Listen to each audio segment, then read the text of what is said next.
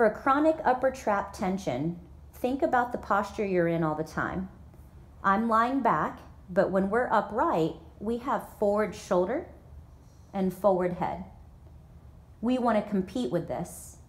You can use something like this or duct tape two tennis balls together. And when you bend your neck, you want to find the most prominent bone sticking out.